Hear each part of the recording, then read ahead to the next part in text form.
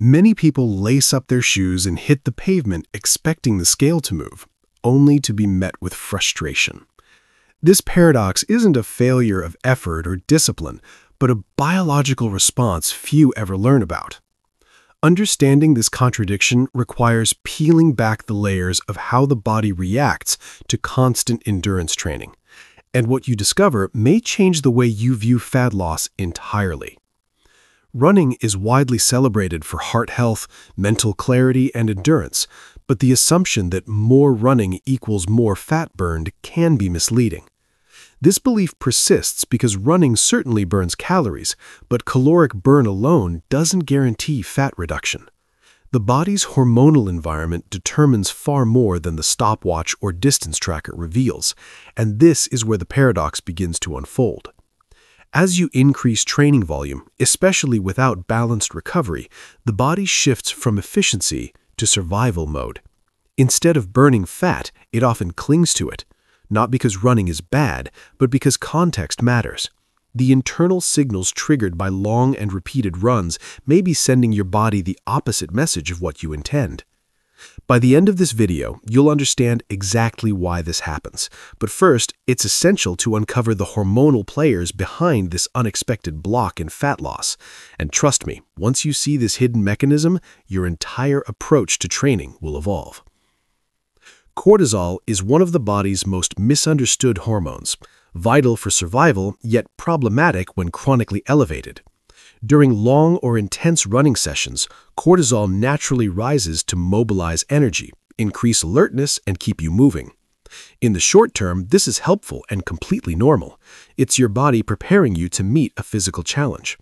But when running becomes excessive or recovery becomes inadequate, cortisol stops acting as an ally and starts behaving more like an internal stress signal. Studies show that persistent elevation can redirect energy away from long-term metabolic processes and toward immediate survival needs. This shift affects everything from appetite regulation to fat distribution. Biologically, a stressed body is a conserving body. Cortisol nudges the metabolism to preserve resources, particularly fat, as a protective mechanism. This response makes sense from an evolutionary standpoint. Long physical exertion historically signaled scarcity, not abundance. Without realizing it, your daily run may be sending this very signal. And this hormonal shift doesn't just influence fat storage, it affects your overall motivation, recovery, and hunger cues as well. Understanding cortisol is the foundation for unlocking the fat loss results you've been chasing and we'll explore how this hormonal trap quietly takes shape in your training routine. A calorie deficit works only when the body believes it is safe to burn stored energy.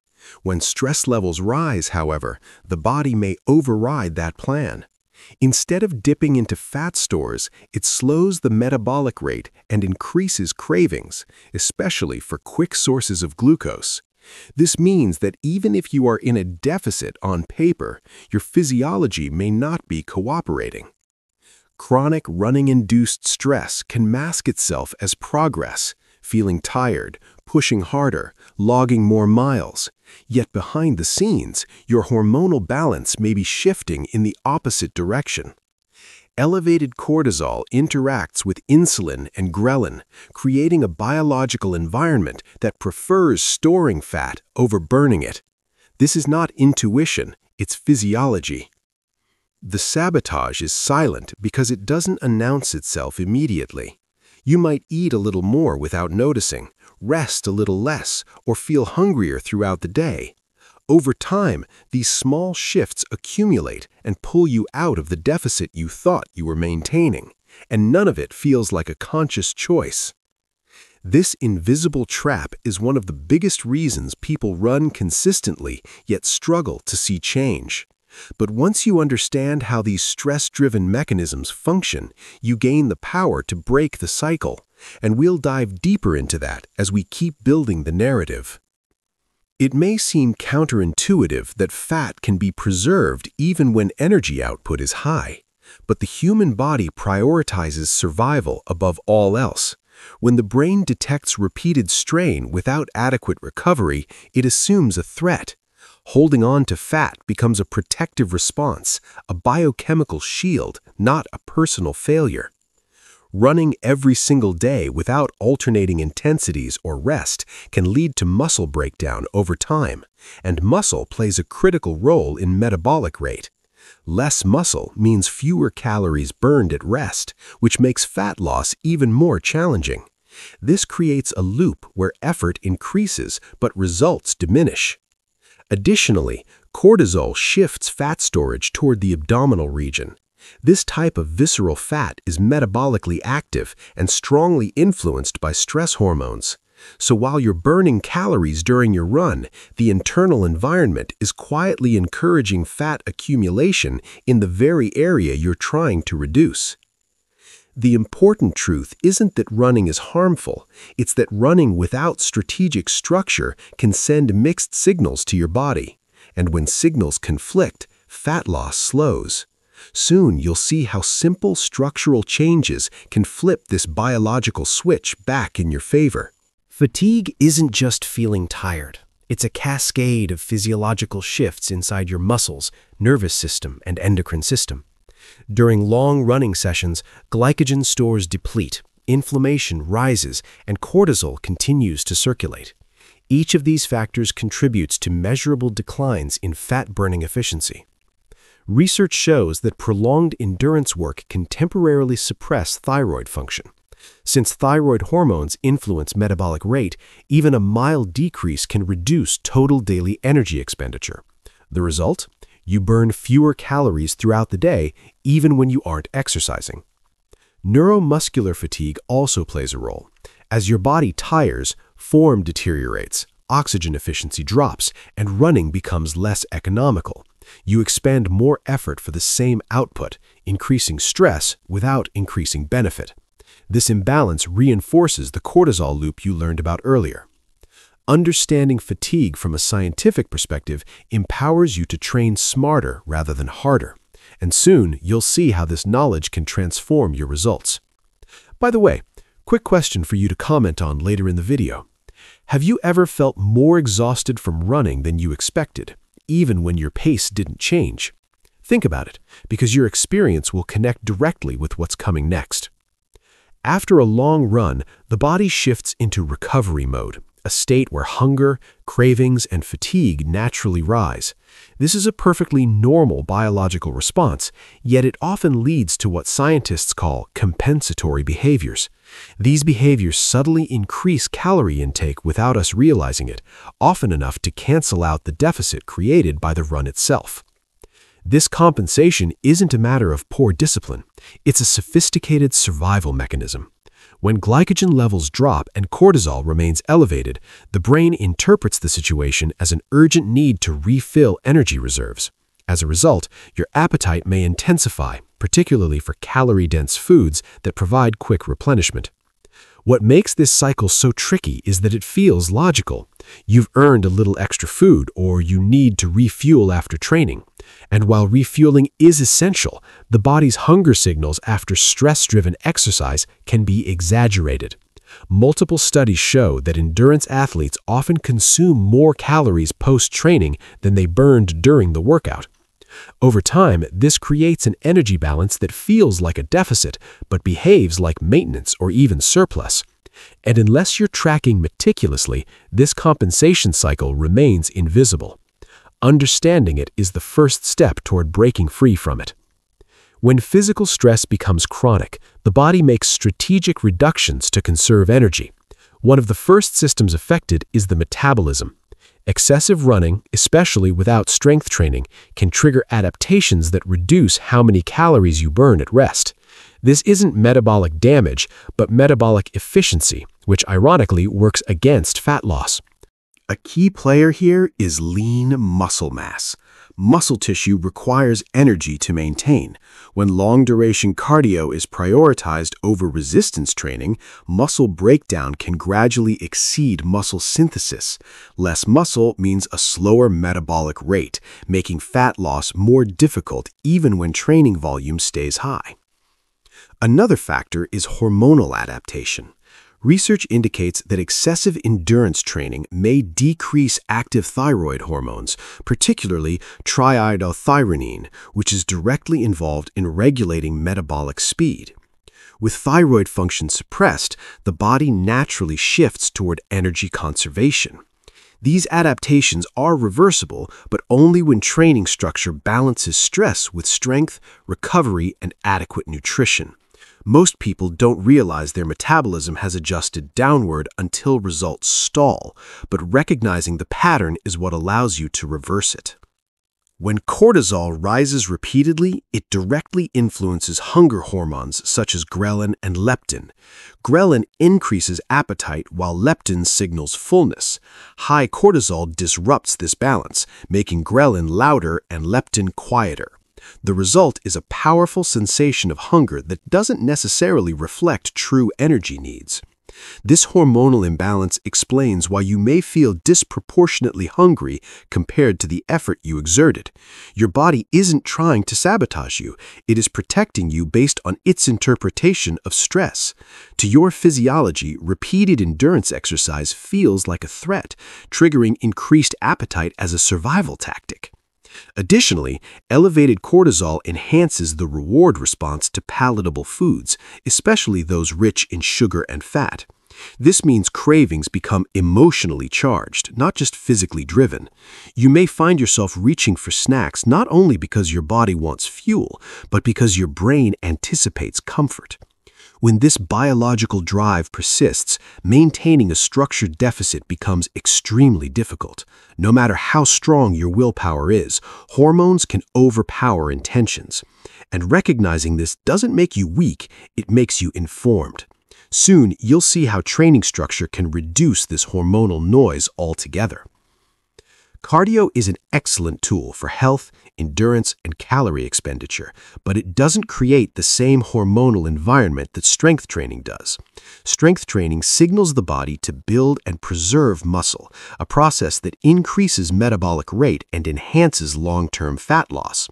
Muscle acts as a metabolic engine, burning more calories even at rest.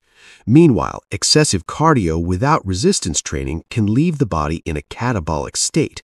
This means that instead of building tissue, the body may break it down to keep pace with demand.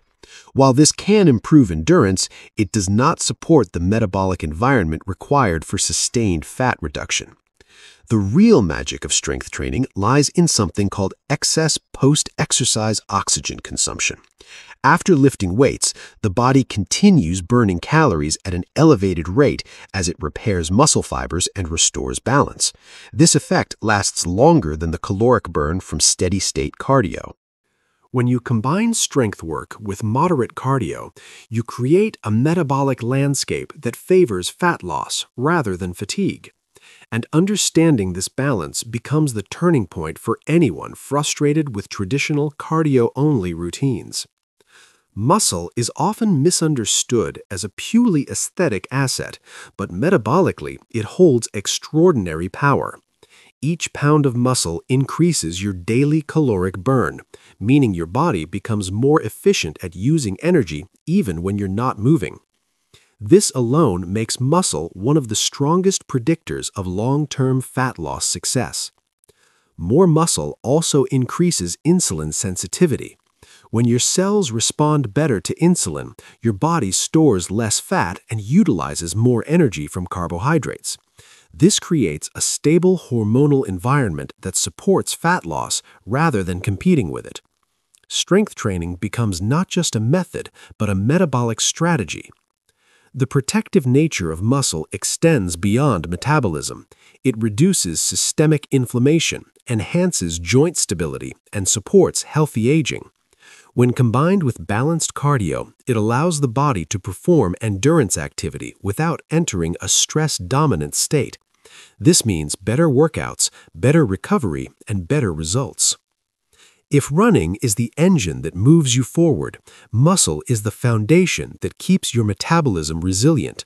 And in the next section, you'll see how training smarter, not harder, becomes the true catalyst for change. Training smarter is less about doing more and more about doing what your body can actually benefit from. When you alternate intense sessions with rest or lighter training, you lower cortisol accumulation and give your body space to recover. This simple adjustment can dramatically improve fat loss because your physiology finally feels safe enough to mobilize stored energy. A balanced structure often combines shorter runs, intervals, strength training, and designated rest days. Each of these elements contributes differently. Intervals enhance cardiovascular efficiency. Strength builds metabolic capacity, and rest regulates hormones. When they work together, the stress load becomes manageable rather than overwhelming. One of the most powerful shifts you can make is learning to listen to signs of accumulated stress. Poor sleep, persistent soreness, irritability, and increased appetite aren't signs of weakness. They're biological messages that your training is out of balance. Adjusting intensity based on these cues allows you to train in alignment with your hormonal environment. And when this alignment happens, your results accelerate. You stop fighting your body and start working with it. If you've ever felt like you were stuck despite doing everything right, this smarter approach may be the key you've been missing. The most effective fat loss strategy doesn't eliminate running, it harmonizes it with strength work and meaningful recovery. When you combine all three, you create a training ecosystem that supports metabolism, regulates cortisol, and enhances performance. The goal isn't to run less, but to run with a purpose supported by a stronger and healthier body. A practical structure might include two or three strength sessions per week, one or two moderate running days, and one interval-based day, all balanced with adequate rest. This variety prevents hormonal overload and keeps the body adapting in positive ways. Over time, you become more efficient, stronger, and far more capable of burning fat. Recovery plays a deeper role than most people realize. Sleep, mobility work, hydration, and stress management all influence cortisol levels and metabolic function. When these elements are consistently addressed, running becomes a tool for improvement rather than a trigger for stress responses. Each workout becomes part of a larger, coherent plan.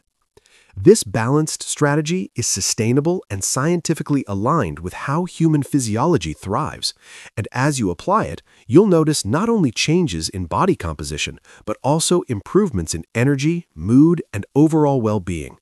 Before we move on, if this video is helping you understand your body in a whole new way, consider supporting the channel with a super thanks.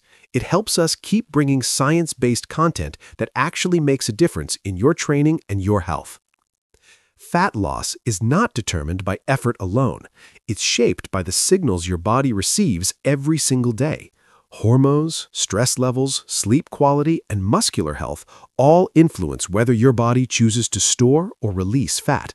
When running becomes excessive or unbalanced, those signals shift toward preservation instead of utilization.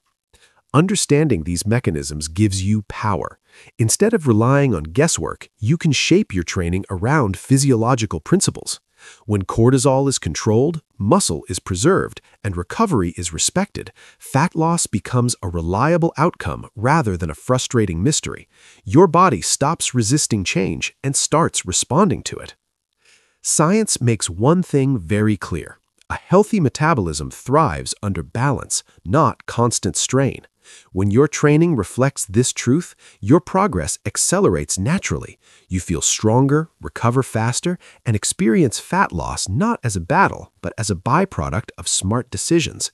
And as we wrap this journey, here's your final nudge. If this breakdown helped clarify why running may have been blocking your results, share this video, like it, and subscribe so more people can understand the science behind their struggles. And of course, keep observing your own experience. Your body is always communicating. Now you finally know how to listen.